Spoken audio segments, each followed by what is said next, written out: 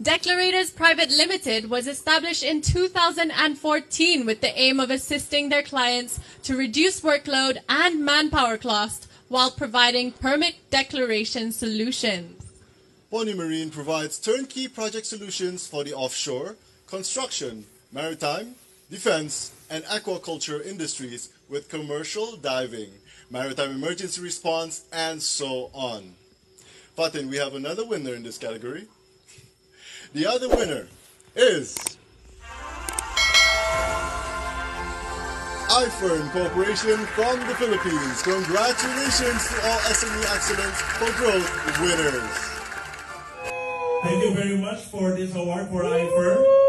Uh, I, I received this award on behalf of the 500,000 members of uh, iFern Nation all around the world, and it's our goal no, to go out of the Philippines, to go regional, and to go international.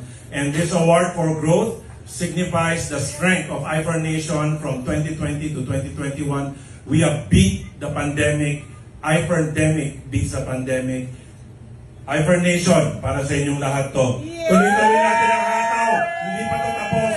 2022, atin ka rin. Atin ka pa rin namin. Amin ka pa rin.